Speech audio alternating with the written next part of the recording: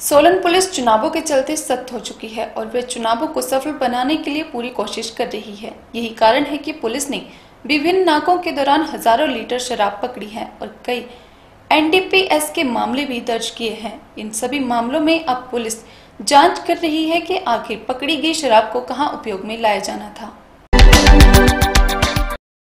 Solan police चुनावों के चलते सख्त हो चुकी है और वह चुनावों को सफल बनाने के लिए पुरजोर कोशिश कर रही है। यही कारण है कि पुलिस ने विभिन्न नाकों के दौरान हज़ारों लीटर शराब पकड़ी है और कई एनडीपीएस के मामले भी दर्ज किए हैं। इन सभी मामलों में अब पुलिस जाँच कर रही है कि आखिर पकड़ी गई शराब को कहाँ उपयोग में लाया जाना था और कहीं चुनावों के दौरान इसे इसे वितरित करने का कार्यक्रम तो नहीं था। इन सभी पहलुओं पर पुलिस की जाँच जारी है और पकड़े गए आरोपियों से भी गहन पूछताछ की जा रही है। अधिक जानकारी देते हुए अतिरिक्त पुलिस अधीक्षक शिव कुमार ने बताया कि 10 मार्च को हिमाचल में आचार संहिता लगी थी। तब से लेकर आज तक करीबन 45 मामलों में 3000 लीटर शराब को पुलिस ने विभिन्न मामलों में पकड़ा है। उन्होंने बताया कि इसके अलावा करीबन 16 एनडीपीएस के मामलों में चिट्टा चरस और अफीम बरामद की है। उन्होंने बताया कि पुलिस ने सभी सीमाओं को सील कर दिया है और हर आने जाने वाले पर पैनी नज़र रखी जा रही जब से आचार संहिता लागू हुई है, तब से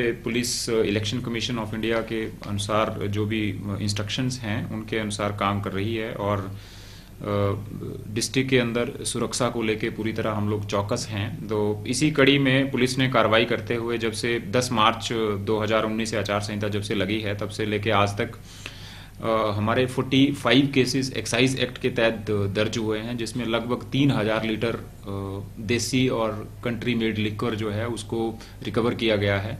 इसके अलावा 16 केसेस एनडीपीएस एक्ट के तहत दर्ज हुए हैं, जिसमें डिफरेंट क्वांटिटी में हेरोइन चरस और इवन अफीम के जो डोडे होते हैं, उनको रिकवर किया गया है। और ये मुहिम लगातार जारी है और किसी भी तरह की अवांछित, असामाजिक गतिविधि को डिस्ट्रिक्ट में नहीं होने दिया जाएगा। तो ये था आज दिन भर का कार्यक्रम। कल फिर हाजिर होंगे नई गतिविधियों के साथ। आप जुड़े रहिए एस्टोरी के साथ। नमस्कार।